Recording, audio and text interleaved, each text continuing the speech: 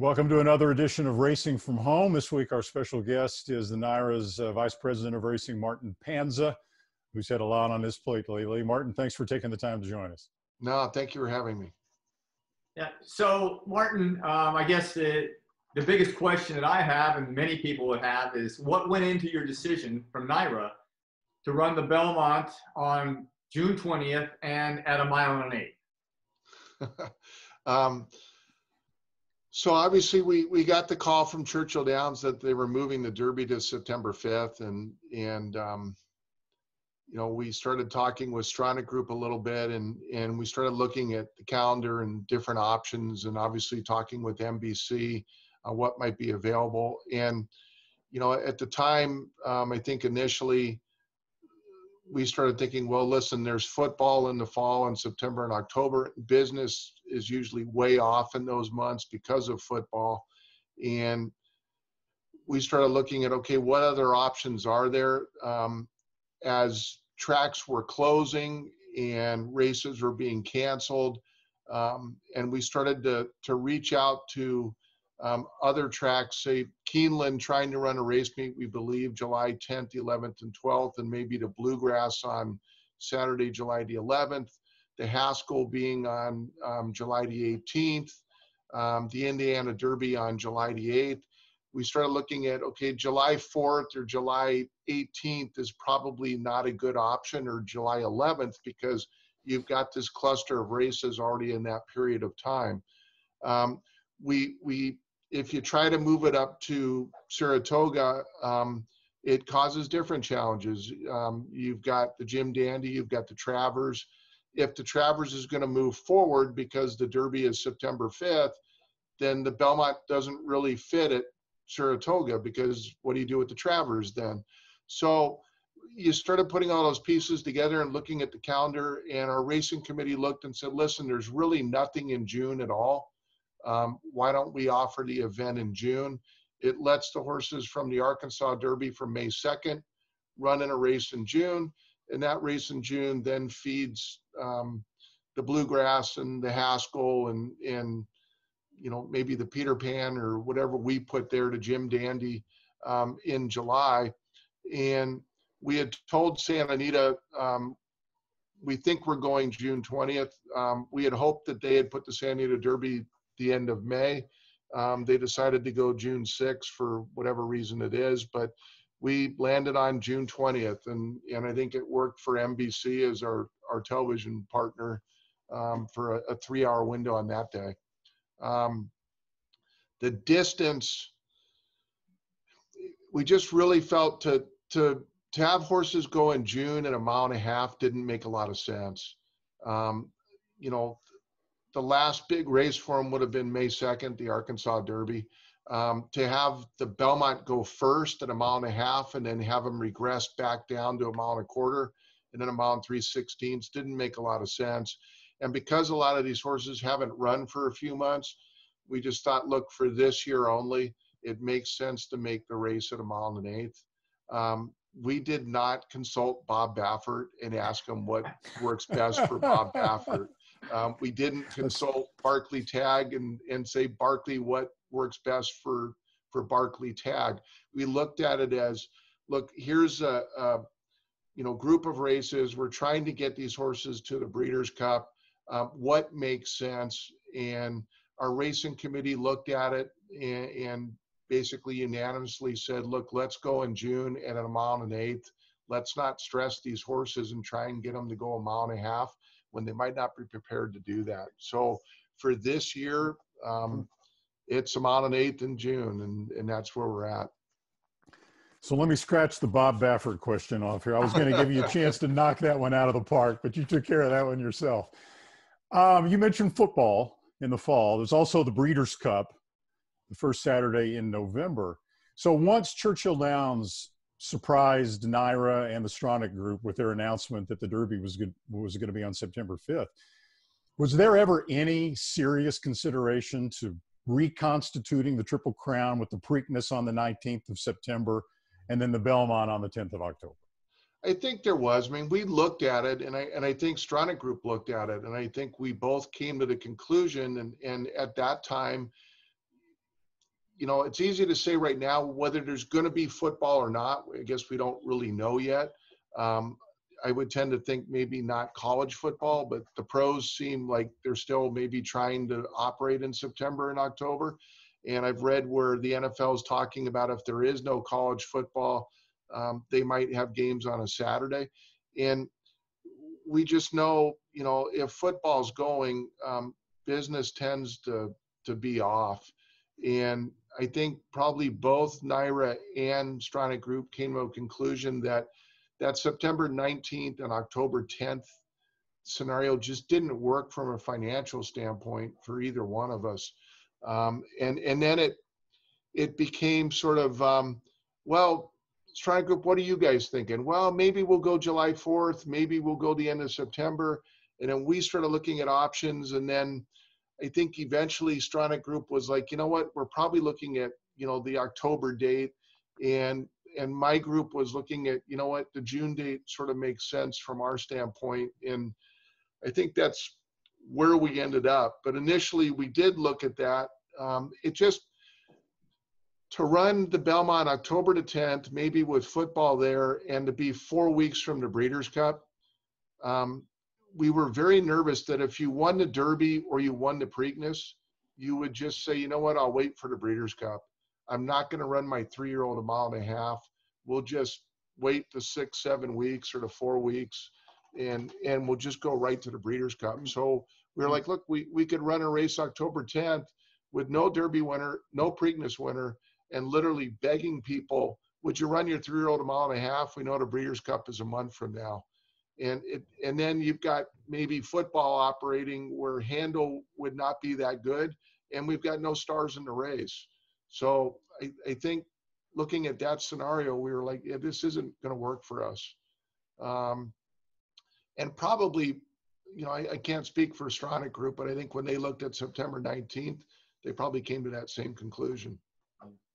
So so martin now that we've got the belmont stakes the date and distance put to bed how much did you guys think about running Saratoga at Belmont? For, for a variety of reasons, handle, you know, relocation expenses, for all the things, what did you think about and how did you come to the decision? Sure. Well, we, we still haven't been officially approved to, to have a race meet at Saratoga. I, I think that's going to happen. I think the governor um, is for that. I think he's he's said that that you know there can be racing at Saratoga. Um, when we run the numbers from a handle standpoint, just the brand of Saratoga, um, we're going to handle more money racing out of Saratoga than what we're going to handle down at Belmont. And right now, with with the Aqueduct Casino not open, Genting Casino not open, that's usually 38% of our purse money. And then when you take um, no on-track live attendance or live handle, that's another say six, seven, eight percent of purse money. And so if we stay at Belmont, we're not going to handle as much money. We just don't handle the same amounts at Belmont that we do at Saratoga. The brand for Saratoga is much stronger. It would sort of like be saying to the California horsemen, why are you going to Del Mar? Why not just stay at Santa Anita? Well, because Del Mar, they'll handle more money at Del Mar and it's a specialty meet. Well, it's the same for Saratoga. And right now, through the pandemic and with these tracks closed, we want to get as much purse money as we can out to owners and trainers. And at the same time, um, NYRA, you know, we need to run this company and make sure that there is a NYRA for next year. We're going to generate more money for the company being at Saratoga. And right now we're burning through about $1.5 million a week. So, you know, we've got some cash reserves, but we need to run the business in a smart, intelligent way. And so we're going to make more money being at Saratoga. For the trainers, um, you know, we realize there's an expense of going up to Saratoga. Obviously, we want to offer more purse money to them. Um, if there's no fans allowed, uh, there's certainly not going to be a rush on hotel rooms and on rental properties up there. And so I, I think, you know, rents are going to drop down. And I think for this year only, if you're a smaller trainer and you just can't justify that move up there, mm-hmm. you stay at Belmont Park. we run a free shuttle. We're going to add more shuttle service so that we can handle those horses. And we're, we're doing some deals with hotels up there where, you know, you, you'll get a trainer or, you know, if we can have owners and owners rate where if you got to go up for Friday night, you get a hotel room for the night and you, you keep training down at Belmont. So I think it's up to each individual trainer on what he can do for this year. But the goal is to get as much purse money out there as we possibly can. And Saratoga allows us to do that. Well, Saratoga is obviously the crown jewel, not just of NYRA, but basically of American racing in general. And it strikes me that one of the fringe benefits of having the Belmont on June the 20th and all the supporting races that go along with it is that you're not cannibalizing necessarily some of those major Saratoga Stakes races. And for the three year olds specifically, it provides them the option of going Belmont, Travers, Kentucky Derby if the Travers is moved earlier on the calendar. Is that a logical assumption that the Travers in Alabama will more than likely be moved to late July or early August? We hope so. We're, we're in discussions with Churchill Downs, and, and I think we'll get to that point. And hopefully, in the next couple weeks, we'll be able to sort of solidify a schedule. And, and that's the goal. The goal is to, to get it so that about every four weeks, there's races for these horses to run in and, and take them in that progression from the Belmont, and then it looks like I said in July, you're going to have like the Bluegrass, the Indiana Derby, the the Haskell, then the Travers, and then the Kentucky Derby, and then the Preakness. So we're trying to make that happen, and we're close. We just need to work some things out with Churchill. So, Martin, we we are aware of most of your duties, but I'm sure during this pandemic it's uh, encompassed a whole lot more. What what are you having to take care of, and how much have you learned about COVID nineteen and testing? Too much. There's some days where I, I well, I shouldn't even say it, but it's like, gee, I, I need to get this so I can have about 20 days off. Um, it's been it's been interesting. Like it, you know, obviously we stopped racing March 15th, and at that point, I don't think any of us sort of realized what was coming. Um, even at, at that stage. And then obviously being in New York, um, it just sort of, you know, took over New York City and, and swept through Long Island. And so um, we've got a group, a, a um, or a, a, a horseman's group that basically meets at nine in the morning and five o'clock every night. And all we discuss is the backstretch and the employees back there and if we've got someone who's sick or needs help, um, the different protocols that we have in place. Um, how are we going to get people fed? Can we help them get on unemployment if they need to? Can we get the people that don't have jobs currently? Can we get them jobs with trainers that need help? Um, people that need to be isolated, maybe they're not feeling well. Can we get them isolated? Can we get them to see a doctor? Um, late March, early April, it was very difficult to get testing done. And so it was literally like, okay, how do we get this person tested? Um, there were days we have the best clinic on the backstretch, as you know, Jerry, and there were days where they just didn't have any tests available. There'd be one day, hey, we have three tests today, we have eight tests tomorrow, we have one test coming up on Saturday. So it got very tricky there on just trying to find people um, the medical help they needed. And then trying to find masks. You know, we we finally through NITA were able to to get someone in China to, you know, buy 200,000 masks, but it was hard initially just to get all of the protective gear needed, and then putting protocols in place because this was new. Like I'm I run racing. I, I'm not a healthcare specialist, so it was suddenly going online and learning as much as we could and talking to the health department officials and you know like wanda over at nassau county health is now like our second best friend um, so it was just dealing with a whole another situation and another group of people and it's been interesting and, and like we're going to start racing in june 3rd but the health side of this doesn't go away um, we're going to race but we're also going to have protocols in place and still caring for the people in the backstretch and trying to help you know any of the employees um, it's been challenging. It's been frustrating. It's been sort of, um, you know, you think about life a little bit because you've got people that are gravely sick or in the hospital, and and you know, um, at the same time, I think, you know, between Best and the chaplain and Glenn Kozak and Dave O'Rourke and NITA, we've all sort of come together. And, and that's the strength of America, and it's the strength that probably backstretches in the racing community. That when times get tough, we we come together and we help each other. So, Martin, is it fair to say that uh, you can't wait to get back to the day when your biggest concern is how to fill that non-winners of three other than allowance race on Saturday afternoon? I want to be a placing judge. I go sit upstairs and look at photos.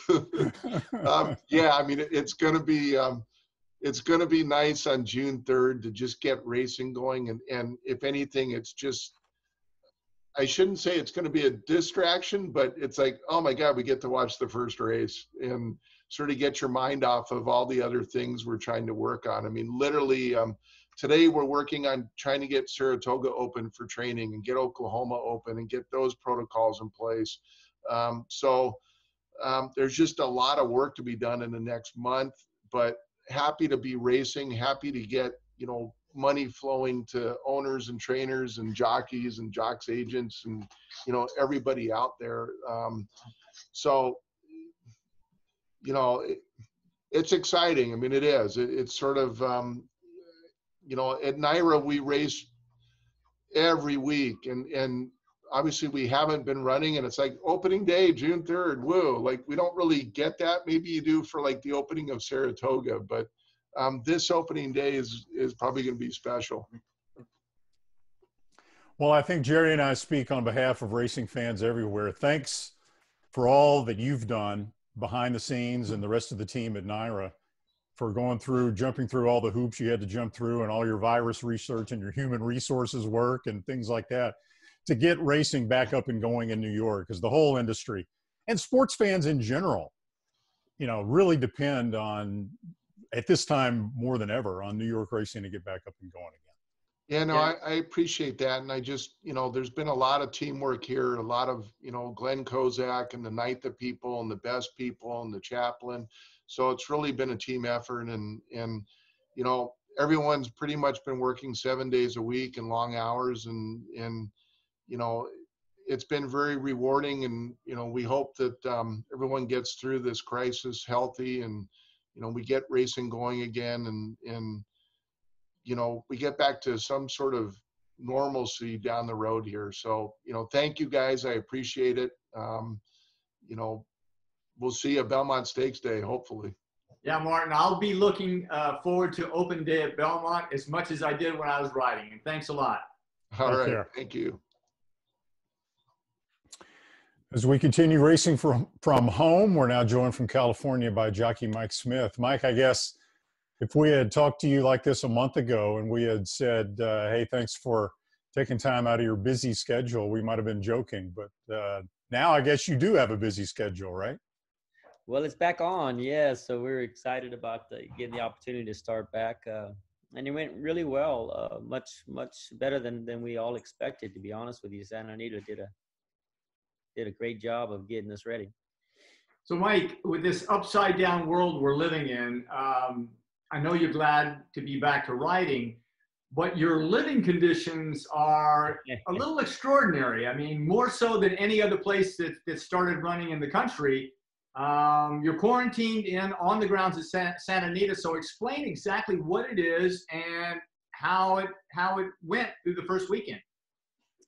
Yeah, LA County is really strict, you know. So we, we're going to probably have the, the, the harshest. I mean, as far as um, the living uh, facility and everything. We got to be quarantining these trailers. Uh, but they're they're called star wagons. You know, they're there. Uh, to be honest with you, I'd like to say that we're you know we're kind of roughing it out, but man, it's it's about as high end of camping as you could possibly imagine. Uh, they're beautiful trailers. Uh, they're very comfortable. They have a little kitchenette, shower. Uh, each trailer is a two bedroom, has a divider in the middle. And again, it went really well. It was I felt like a kid again. I, back in the day, Jerry, we would have we would have loved to have racetrack to give us a trailer like this and live on the backside for free. I mean, they're that nice. Uh, and it went really well in, the accommodations as far as uh, 24 hours, a little food service and coffee and tea and breakfast in the mornings, dinners at night. I mean, and the guys just kind of get together. We have movie night. Uh, after movie night, uh, we play a little poker, then go to bed. so we're taping this on late, I think it's late Wednesday morning, your time out in California, and we had to wait on you to get back from taking a COVID 19 test. Other than the trailers and all that, what are some of those precautions that Santa Anita is taking to keep everybody safe? Well, this bracelet's actually just a temperature to make sure that you have no symptoms to even go in to take the test. Now, the test won't come back until uh, late uh, Friday evening. I mean, uh, uh Thursday evening, and then as soon as you clear, well, then you're you're eligible. Then you can come in in the morning. Uh.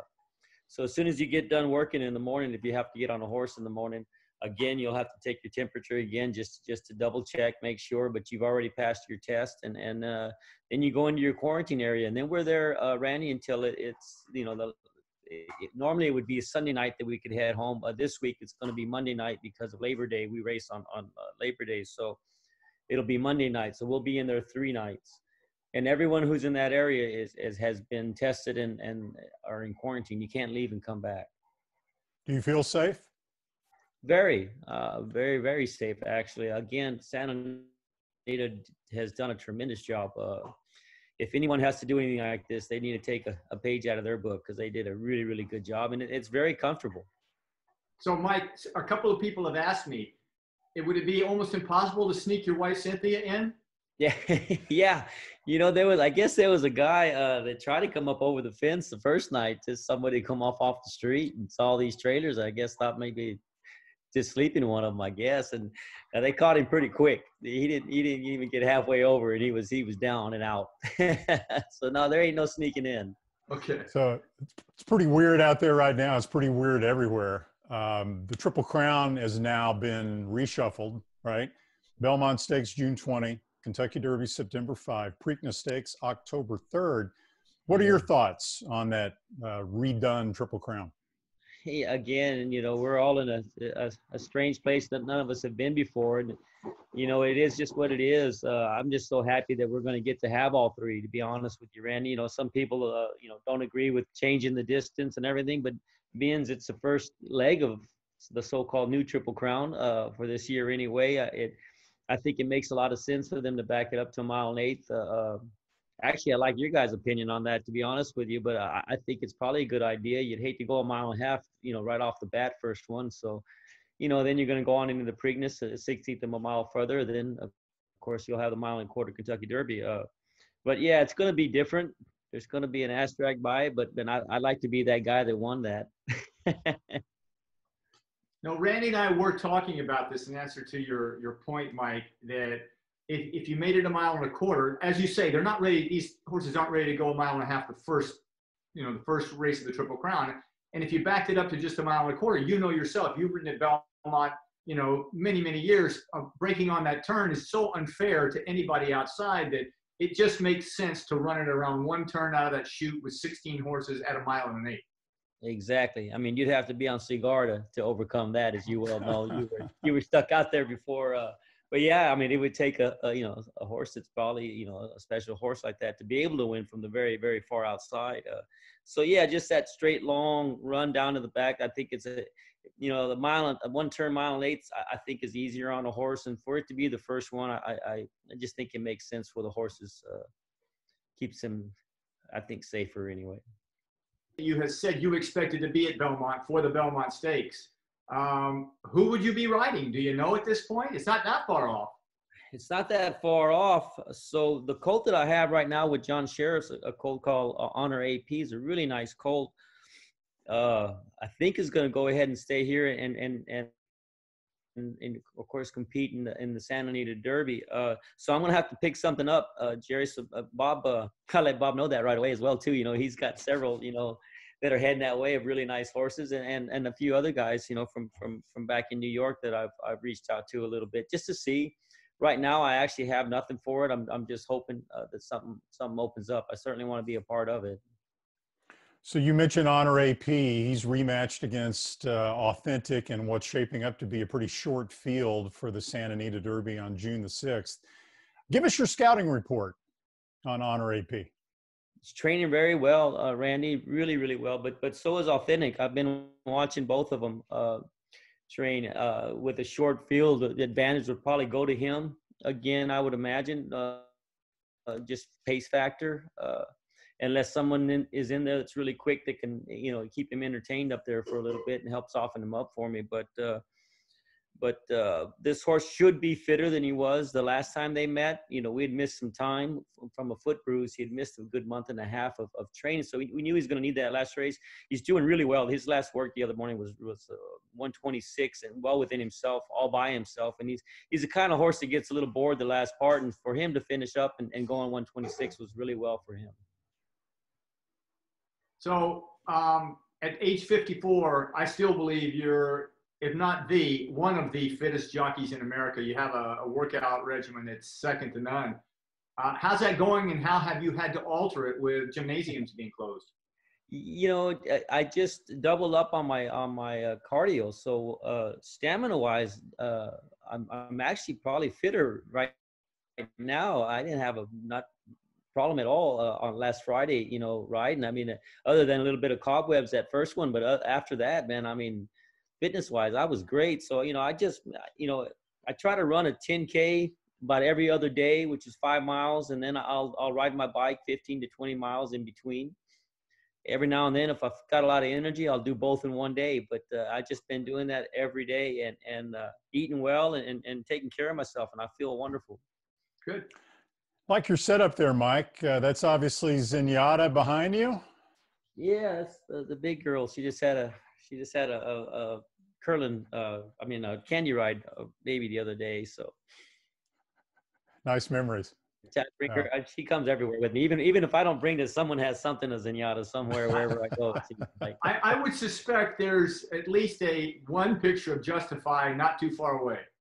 I got a beautiful painting of Justify that that that uh, that we were that Bob and, and Jill uh, gave us for Christmas. Uh, and I just I, I got to find a special spot, and, and I don't have a whole lot of room here in, in, in my condo, so it's it's a small condo and it's just straight up and down. So we're gonna find a special spot for that sometime soon. Hey Mike, thanks for zooming with us. Thank, thanks for taking your time out of your now busy schedule. Good luck yeah. out there at Santa Anita, and good luck in the Santa Anita Derby with Honor AP. Thank you. Thanks, Mike. Hope to see you both soon.